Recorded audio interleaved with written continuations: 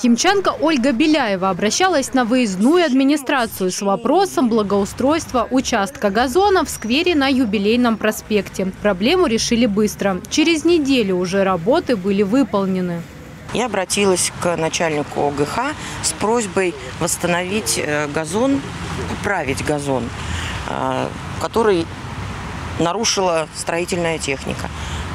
Моя просьба выполнена. Засеяли травкой, черноземом засыпали. Я довольна. Очень удобно. Не надо ни записываться никуда, ни в очередях стоять. Пришла, свободно обратилась. Вопросы ЖКХ, тарифы на услуги, благоустройство, транспортное обслуживание, а также другие аспекты жизни округа волнуют химчан. Об этом говорили на выездной администрации в пятой школе. Каждый вопрос разбирают сотрудники профильных ведомств. В рамках встречи личный прием провел и депутат Валентин Герасимов. Все по профилям. Это и ЖКХ, это ОГХ, это ТСК, это и водоканал и так далее. Естественно, территориальное управление. Но первое почему? Определено время э, с 16 до 20. Э, кто не работает, пожалуйста, может 16. Кто работает, удобно до 20. Химчане часто обращаются на выездную администрацию с вопросами благоустройства.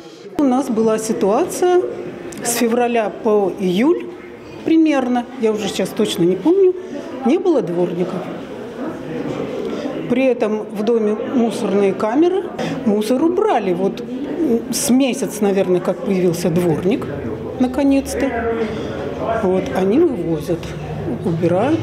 Приходит на выездную администрацию не только с вопросами, но и с различными инициативами, которые направлены на улучшение жизни горожан и развитие округа. Сегодня нам удалось обсудить э, впервые с администрацией инициативу по участию во всероссийской акции Дубрава Петра Великого. Акция э, стартовала в Петербурге.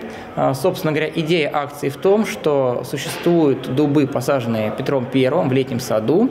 Дубы по-прежнему плодоносят, от них есть желуди, то есть есть саженцы.